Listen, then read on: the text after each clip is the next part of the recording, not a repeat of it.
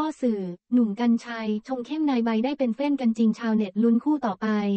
เป็นพิธีกรมากความสามารถอีกหนึ่งคนของวงการสำหรับ หนุ่มกรรชัยหลังจากที่เจ้าตัวเคยชงเข้มคู่ของนายนภัสกับใบเฟิร์นออกสื่ออยู่บ่อยๆ จนตอนนี้ทั้งคู่กลายมาเป็นแฟนกันจริง ๆ แล้วนั้น ในตอนนี้หลายคนยังจับตาคู่ของว่าที่นายกทิมพิธากับนักแสดงสาวแอฟทักษอรลุ้นอยากให้เป็นคู่จริงคราวคู่นี้ก็โดน พ่อหนุ่มกรรชัยชงเข้มเหมือนกัน หนุ่มกรรชัยพ่อสื่อนายใบเฟิร์น ใบเฟิร์นเคยไปออกรายการสามแซ่บและมีช่วงหนึ่งนายได้โทรหาหนุ่มกรรชัยในรายการ หนุ่มหุยนายนภัสหันไปยิ้มกับใบเฟิร์นและพิธีกรคนอื่นๆ ใบเฟิร์น ดอกจันยิ้มดอกจัน หนุ่ม สวัสดีครับนาย นาย สวัสดีครับ อัดสามแซ่บอยู่เหรอ หนุ่ม อัดสามแซ่บอยู่นายรู้ได้ไงอะ นาย แขกรับเชิญเป็นใครนะได้ยินเสียงหัวเราะ หนุ่ม หุยได้ยินเสียงหัวเราะด้วยเหรอนายพี่อยู่กับพี่แอปแล้วก็ชมพู่แล้วก็น้องใบอะ สนิทกับน้องใบใช่ไหม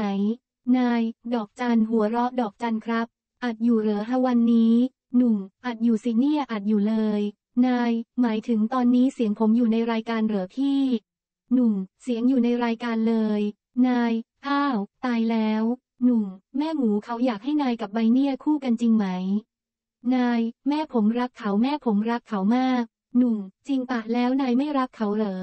ใบเฟิร์น ดอกจันทำหน้าโอ้โห ดอกจัน นาย ผมก็เป็นห่วงเขาเป็นเพื่อนที่ดี ดอกจันดอกจันหลังจากนั้นนายได้พูดว่าไม่ค่อยกล้าพูดอะไรเท่าไหร่ตอนออกรายการ ยิ่งเป็นพี่หนุ่มยิ่งน่ากลัว พูดอะไรไม่ออกเลย ซึ่งใบเฟิร์นก็ฝากนายขอบคุณแม่หมูที่เอาถุงเท้ามาให้ และมีการถามด้วยว่า ใส่ได้พอดีไหมใบเฟิร์นก็ตอบว่าใส่ได้พอดี ชงเข้มทีมแอป ต่อมาเหตุการณ์ล่าสุดวันที่ 10 กรกฎาคม 2566 ด้านพิธาได้ไปออกรายการโหนกระแสที่มีหนุ่ม กัญชัยเป็นพิธีกรโดยมีบางช่วงบางตอนพิธาได้บอกว่าเดินเข้ามานักข่าวถามว่าทำไมวันนี้มาออกรายการโหนกระแส ผมก็เลยบอกว่าเดี๋ยวพี่หนุ่มคงอาจจะถามเองในรายการ Exclusive ซึ่งหนุ่มบอกว่าจริง ๆ แล้วเสร็จจากตรงนี้ผมจะต้องไปถ่ายรายการสามแซบจะไปด้วยกันเลยไหมพิธา มีคนรายงานมาแล้วว่าแจ้งวัฒนะ หนุ่ม เอ๊ะใครรายงานผมสงสัยเหลือเกินพิธาผมอยากออกรายการโหนกระแสแต่ผมดูพี่หนุ่มให้สัมภาษณ์บ้าง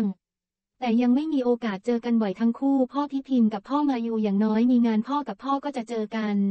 แต่ไม่มีโอกาสมาออกรายการ ไม่เท่านั้นพิธาก็ยังได้เผยเหตุผลที่มาออกโหนกระแสไว้ว่าคุณแอปทักษะออนเป็นคนติดต่อมา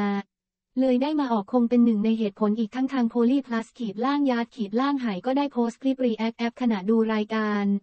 โหนกระแสแบบสดๆ ซึ่งภายในคลิปแอฟถึงกับฝากคำพูดถึงหนุ่มกรรชัยเอาไว้ว่าพี่หนุ่มถามอะไรคะ